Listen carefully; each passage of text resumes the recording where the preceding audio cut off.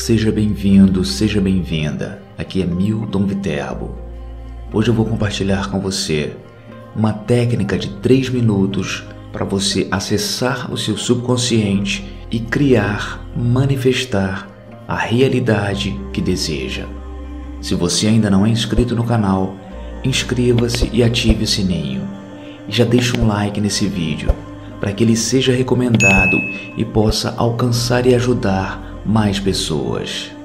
Ouvimos falar de supercomputadores maiores, melhores e mais rápidos em desenvolvimento que podem processar quantidades inacreditáveis de dados. O esforço constante tem sido tornar os computadores tão bons ou melhores que o cérebro. Olhando para algumas das estatísticas comparativas, pode parecer que os supercomputadores estão ganhando a corrida mas o cérebro humano é muito mais eficiente e avançado e possui muito mais habilidade computacional do que o melhor dos supercomputadores. Você sabia que seu cérebro é capaz de processar quase 10 milhões de informações em um segundo?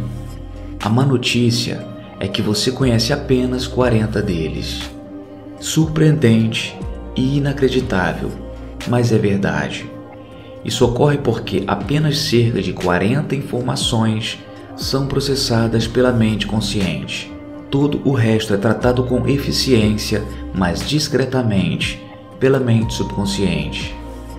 Isso significa que não temos conhecimento da grande quantidade de informações recebidas e processadas pelo cérebro. Se estivéssemos cientes, haveria apenas uma mente consciente. Agora chegamos às perguntas. Como funciona a mente subconsciente? Por que devemos nos preocupar com a mente subconsciente? Por que não podemos deixá-la, já que parece que estamos indo bem como estamos? Quando você está tentando mudar qualquer coisa em sua vida, como hábitos, comportamentos ou pensamentos e sentimentos, você deve tentar fazer isso usando sua mente consciente. Isso é óbvio porque essa é a parte da mente que podemos controlar. Quando você está usando apenas uma pequena parte do cérebro, naturalmente demoraria muito mais para fazer a mudança acontecer. Ou você pode falhar em sua tentativa, porque o esforço não é suficiente para fazer a mudança acontecer. Em vez disso, imagine o quão rápido você pode realizar a mudança se puder encontrar uma maneira de usar sua mente subconsciente. Isso seria incrível. E por que explorar o potencial da mente subconsciente? Todos nós queremos fazer mudanças em nossas vidas por um motivo ou outro. Viver da mesma forma por toda a vida seria enfadonho e monótono. Mudar nossos hábitos, comportamentos, rotina e estilo de vida pode trazer mais excitação e entusiasmo. Agora repare, a maioria das resoluções de Ano Novo fracassa em meados de fevereiro, enquanto que algumas fracassam ainda em janeiro. Se ao menos soubéssemos como utilizar o potencial da mente subconsciente, poderíamos alcançar melhores resultados. Se você deseja manifestar os seus sonhos usando a lei da atração, seu subconsciente desempenha um papel fundamental para fazer isso acontecer. O princípio básico da lei da atração é mudar seus pensamentos para alterar a realidade. E para mudar esses pensamentos, você precisa entrar em seu subconsciente. E se você tivesse a chave mágica para acessar essa parte da mente, em vez de usar os recursos limitados disponíveis, você poderia aproveitar a funcionalidade do desconhecido. Você seria capaz de realizar muito mais em sua vida do que pode imaginar. Por isso eu vou compartilhar agora com você o exercício de 3 minutos para adentrar sua mente subconsciente e criar uma nova realidade, a manifestação do seu desejo. Mas antes eu preciso lhe explicar. Depois de dominar essa técnica de manifestação, você estará usando um grande poder do seu cérebro. A vida, como você sabe, mudará irrevogavelmente. Isso é melhor explicado por meio de um exemplo. Dinheiro é algo que todos nós queremos mais, quer tenhamos pouco ou muito. Porém, para manifestar mais dinheiro, não podemos sentir sua escassez. Muitas vezes nos disseram que dinheiro não cresce em árvores e precisamos ser extremamente cuidadosos com o dinheiro que temos. Infelizmente, essa é uma mentalidade de carência ou escassez, que é uma emoção negativa. Crescendo, somos alimentados com a ideia de como a falta de dinheiro pode nos impedir e negar muitos dos prazeres da vida. Isso pode impedir que você tenha uma mentalidade positiva em relação ao dinheiro. O condicionamento mental sobre o dinheiro que recebemos em nossos anos de formação desempenha um grande papel na decisão de nossa atitude em relação a ele. E se não sabemos nada sobre como mudar isso, isso continuará em nossa vida adulta e lá permanecerá influenciando todas as nossas decisões financeiras. O grande filósofo grego Aristóteles disse uma vez: Dê-me um filho até que ele tenha sete anos e eu lhe mostrarei o homem. Portanto, esse exercício de três minutos é para voltar no tempo, tornando-se consciente do que você está recebendo do seu subconsciente. Eu recomendo que você assista ao vídeo que vai ser recomendado no final desse vídeo, pois nele eu falo de forma mais aprofundada sobre vários processos subconscientes em relação a dinheiro e vida financeira. E agora vamos ao exercício de 3 minutos. Etapa número 1. Um faça de 4 a 5 respirações profundas. Para a maioria das pessoas, durante as horas de vigília, sua mente está ocupada em um diálogo interno ininterrupto. Essa conversa interminável é principalmente do tipo negativo, preocupante, duvidosa, deprimente, insinuante e arrependida. Nossas vidas estão cheias de estresse, contas a pagar, trânsito diário, relacionamentos conturbados, muito trabalho no escritório ou problemas de saúde na família. Quantas vezes você duvidou de sua capacidade de corresponder às expectativas dos outros ou até de você mesmo? Quantas vezes você já disse a si mesmo: não sou bom o suficiente ou sou um idiota? A voz em sua cabeça imita uma pessoa te seguindo e fazendo comentários desagradáveis e puxando você para baixo. É natural sentir vontade de se virar e dar um soco no dono dessa voz. Portanto, é importante parar com essa tagarelice incessante em sua mente e recuperar a compostura. O primeiro passo nesse exercício é respirar profundamente, quatro ou cinco respirações. Aqui a respiração profunda significa inspirar pelo nariz por 4 segundos, segurar e expirar pela boca por 4 segundos.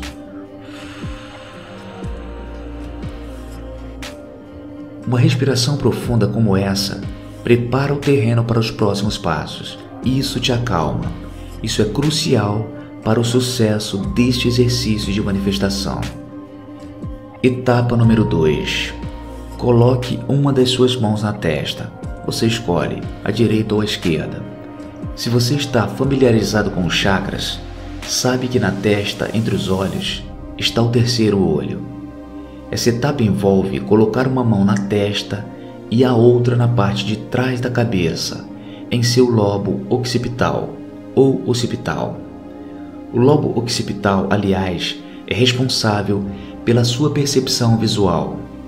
Com esta etapa, a ideia é enviar sinais de energia para você mesmo sobre o que você está prestes a fazer.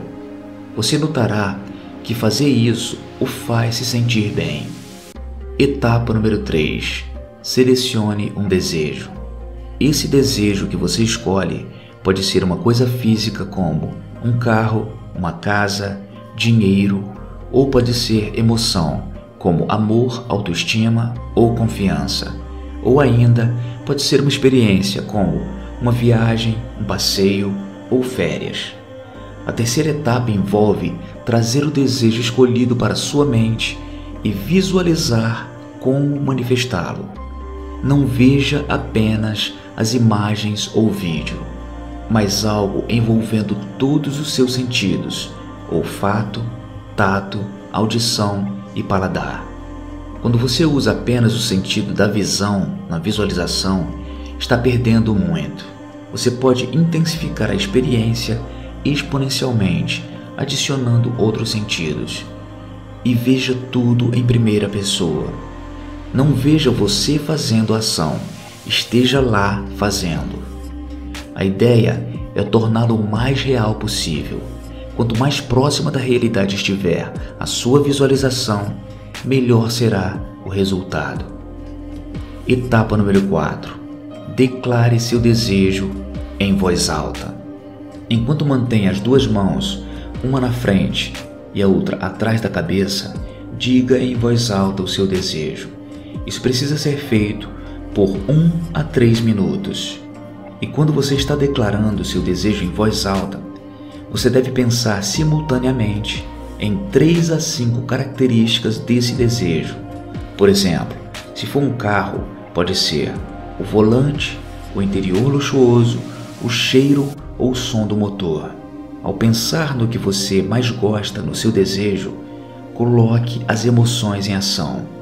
Você deve estar se sentindo extremamente feliz, animado e satisfeito. As emoções podem ser descritas como um registro do passado. Então, se você está tendo emoções sobre o seu desejo agora, isso significa que você já manifestou o seu desejo. Quando você realmente consegue o que deseja, você se sente muito familiarizado, pois já experimentou as emoções de obtê-lo. Etapa número 5. Declare que isso é verdade. O último passo é dizer em voz alta: Esta agora é a minha nova verdade e nova realidade. Diga com tanta convicção e confiança quanto você puder. Quanto mais você acredita que isso é verdade, sua mente trabalhará mais para que isso aconteça. Você precisa alinhar o seu desejo com o que você faz e pensa. Quando o alinhamento é perfeito, você deve começar a trabalhar seriamente para torná-lo realidade. Termine essa sessão de novo com as respirações profundas, como fez no início. Inspire pelo nariz por 4 segundos, segure e expire pela boca por 4 segundos. Repita quatro vezes. Você pode assinar afirmativamente com a cabeça e dizer sim em voz alta enquanto faz as respirações. Isso é para reforçar a verdade e a convicção sobre o seu desejo. Todo o exercício de manifestação leva de 3 a 7 minutos para ser concluído.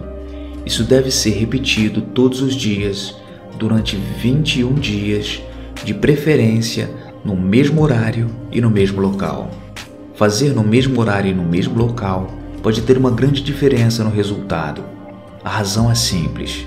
Depois de alguns dias, nossa mente começa a associar a hora e o local ao exercício e assim é mais fácil entrar no estado de espírito.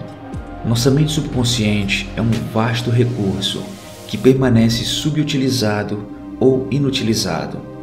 Ao desbloqueá-la, você pode explorar seu potencial e usá-la para melhorar a qualidade de sua vida. A extensão total do poder de nossa mente subconsciente permanece desconhecida, mas quanto mais acesso você tiver à mente subconsciente, mais controle terá sobre o seu funcionamento. Quando você tem um recurso tão incrível disponível ao seu alcance, você deve fazer o seu melhor para tirar o máximo proveito dele. E agora eu quero saber de você: vai aplicar essa técnica? Vai testar para ver se funciona? Eu te garanto que ela é poderosa. Eu estou aplicando e gerando o sentimento bom do meu desejo realizado. Se você gostou desse vídeo, deixe aqui o seu like e inscreva-se no canal. Aproveite e assista aqui no final esse vídeo mais específico sobre a mente subconsciente e como reprogramá-la de forma rápida e simples para mudar sua visão em relação ao dinheiro e melhorar sua vida financeira. Aqui é Milton Viterbo. Muito obrigado pela tua visita. Um grande abraço e até breve.